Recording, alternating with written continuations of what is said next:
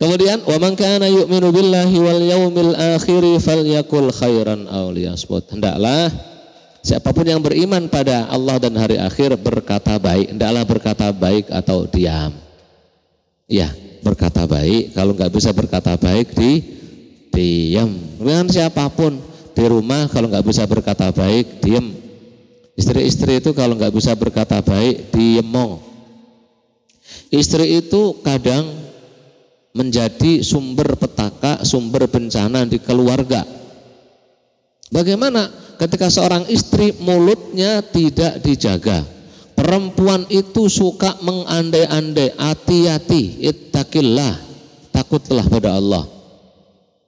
Para ulama itu semuanya menganjurkan kalau kita melihat orang yang mubtala, yang sedang dikasih ujian, dikasih bala, cobaan, kita dianjurkan Alhamdulillah alal afiyah. Nas'alullah al afiyah. Na'udzubillahi min dalik tapi berapa mulut mak-mak yang suka ngawur?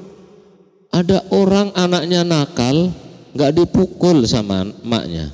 Ini si emak bilang itu kalau anak saya sudah saya pukul nakal beneran itu anak. Iya. Ada mungkin generasi muda yang malas-malasan kerja. Kelumbrak-kelumbruk kalau bahasa Inggrisnya itu. Tidur, makan, tidur gitu. Perempuan yang paling nggak bisa jaga itu kalau anak saya sudah saya marahin itu saya usir anakmu jadi seperti itu maka kalau nggak bisa ngomong diem diem aja Orang itu lebih baik banyak diemnya daripada ngomong nggak ada guna. Iya. Apa semua jadi komentari kalau saya, kalau saya, kalau saya. Murka, marah saya kalau kayak gitu. Diam. Lihat apa pun diam tinggal bilang nas'alullahal afiyah. Nauzubillahi min dalik. Keburukan orang jangan pernah diceritain. Diam aja. Nauzubillahi min dalik. Udah gitu aja. Ada lihat yang buruk-buruk yang jelek tinggal nas'alullah al-afiyah na'udzubillah min dzalik. Kata baginda Nabi sallallahu alaihi wasallam sallallahu al-afiyah mintalah kesehatan, keselamatan, mintalah kebaikan pada Allah. Gak usah banyak komen.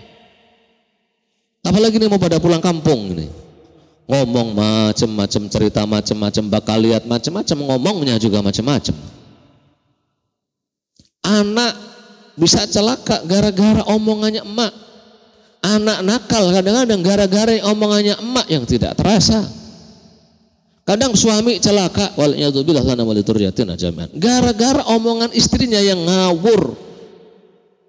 Nggak bisa dijaga. Apa nggak bisa diem? Diem aja. Kelihat apa pun yang buruk tinggal na'udzubillahimin Nggak perlu diceritakan kepada suaminya, nggak perlu ceritakan pada orang lain. Ih, itu kayak gitu, ya. harusnya kan gini-gini kalau kayak gini. Dicoba oleh Allah kamu kayak seperti itu. Iya, ada anak-anak orang nggak nggak nggak ketemu-ketemu sama jodohnya. Dia sih harusnya kan gini-gini gini, jadi anu kok gini-gini gini. Kamu punya anak nggak laku juga anakmu. Apa sulitnya diem? Diem aja diem falyakul khairan au liyas mut. Udah ngomongin orang sudah ghibah, makan daging busuk. Udah semua or orang itu akan diuji dengan yang suka dia kecengin. Dengan yang suka dia salah-salahin. Diuji sendiri. Bahkan sampai tingkatan para ulama.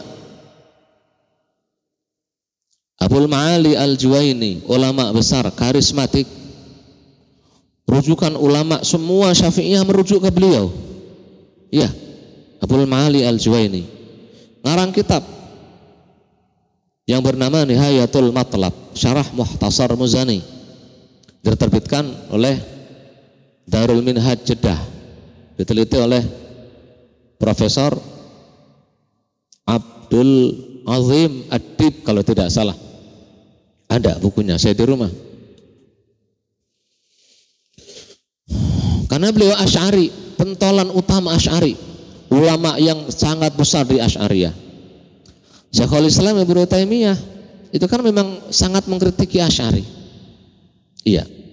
Bahkan secara tidak langsung menganggap bukan ahlu sunnah secara khusus. Hanya menganggap ahlu sunnah secara umum kalau berhadapan dengan syiah. Ketika mengkritiki, mengkritik Imam Al-Haramain ini, Imam Al-Haramain, Al-Gua ini tidak beradab. Syekhul Islam Ibnu Taimiyah.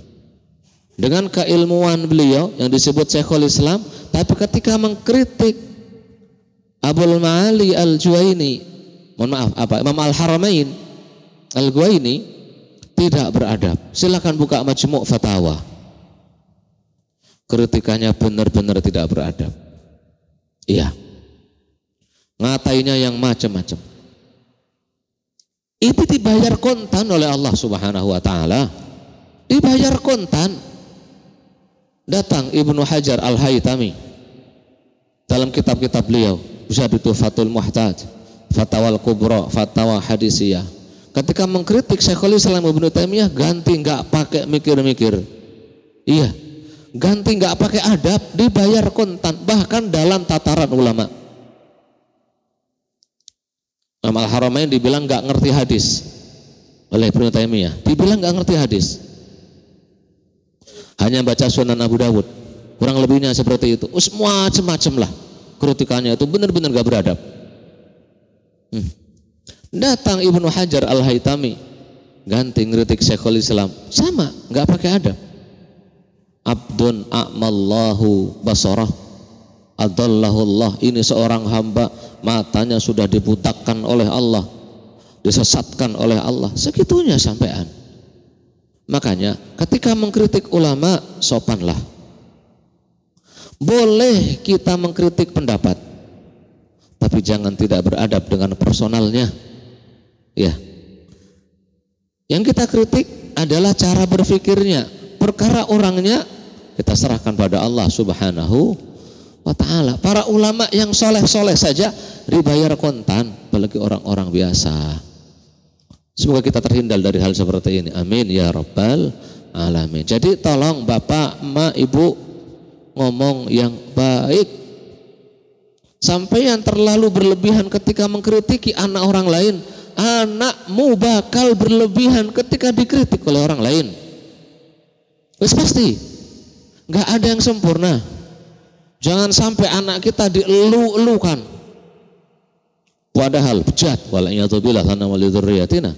Anak orang lain dijatuhin. Jangan. Udah. Semua anak itu sama. Bisa jadi baik, bisa jadi bu, buruk. Semua manusia itu sama. Ada kemungkinan baik, ada kemungkinan buruk. Jangan sampai kita berlebihan ketika mengkritik orang lain. Seolah-olah orang tersebut gak punya kebaikan. Seolah-olah kelompok tersebut gak memiliki kebaikan. Jangan seperti itu.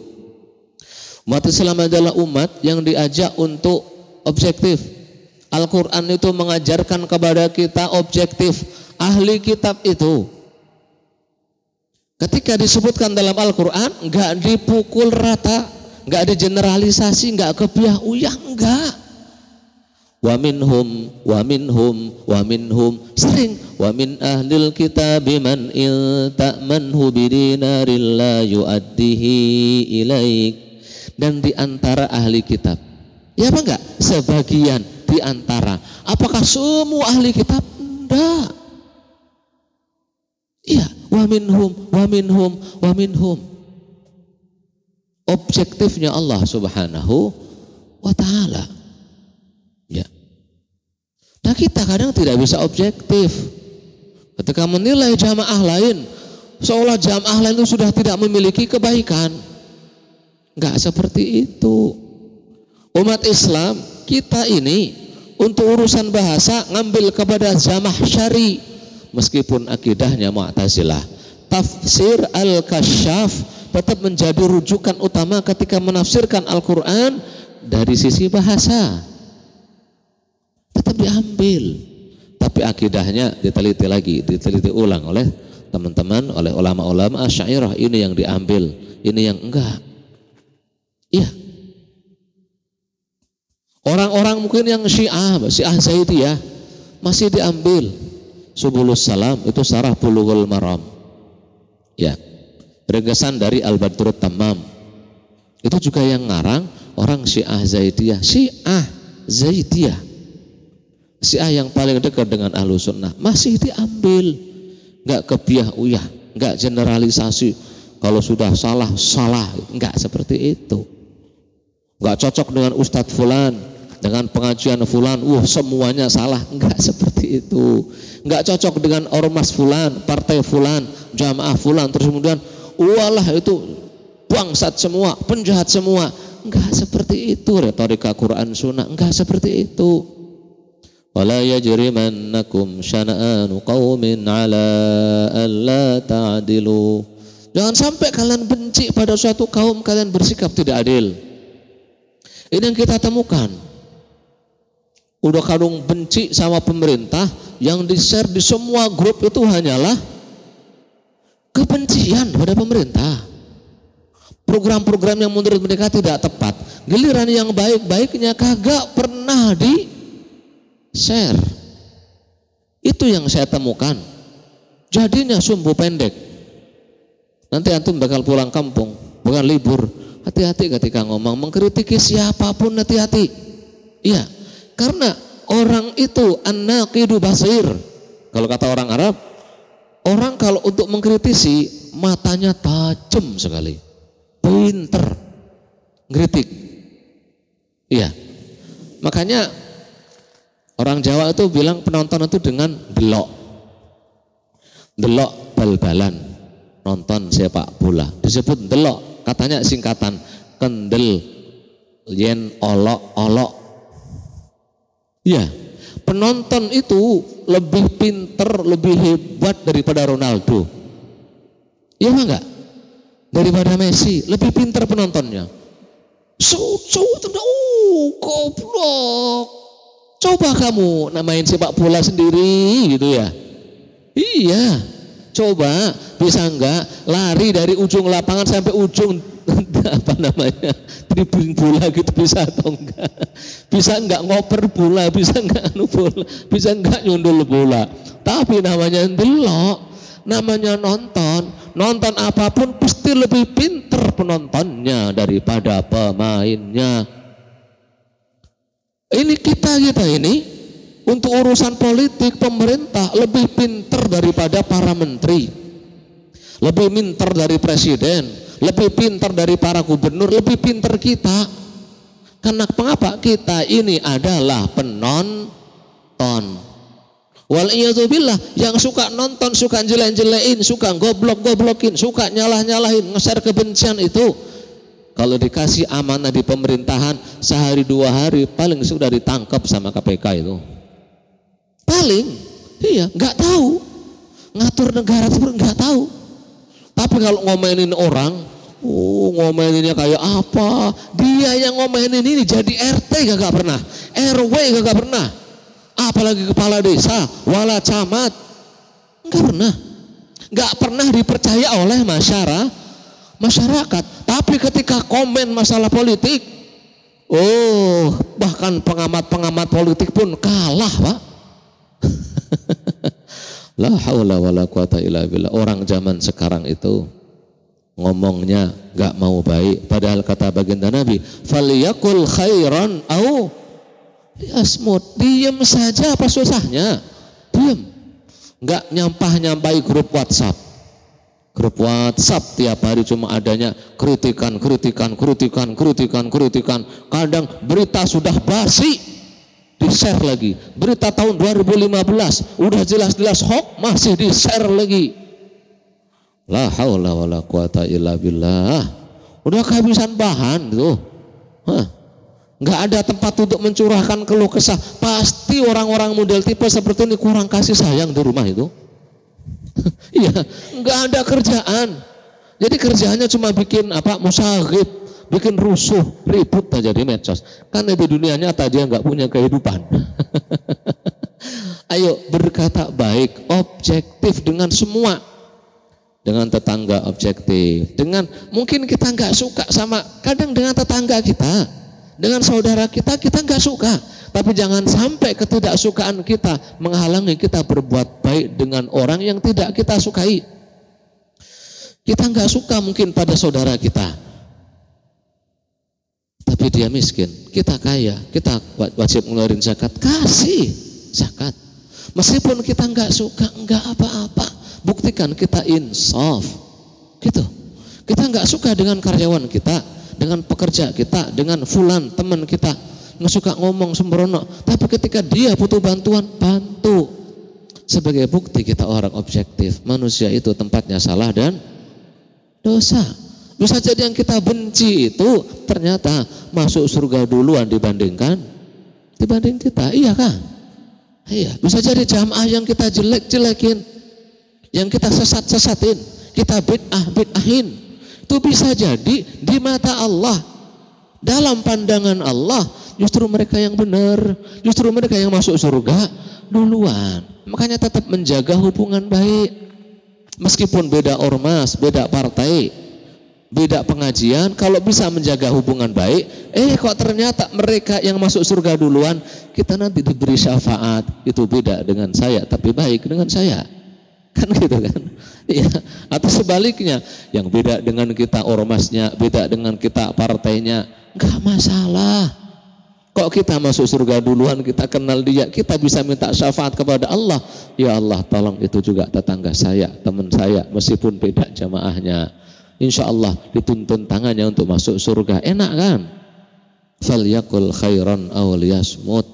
Tolong ngomong yang baik atau di diem. Ini paling sulit. Makanya kata Nabi, saya jamin yang bisa menjamin, yang bisa menjaga nih mulut Wama hawa perut dan sekitarnya dua itu saja. Perut dan kemaluan sekitarnya. Ini mulut bisa jaga ini dua ini saja. Tak jamin surga. Kata Nabi Shallallahu Alaihi Wasallam. Baik